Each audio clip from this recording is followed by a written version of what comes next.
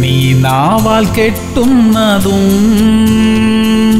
വചനത്താൽ അഴിക്കുന്നതും നീ വാക്കാൽ പണിയുന്നതും ദൈവം സൃഷ്ടിച്ചിടും.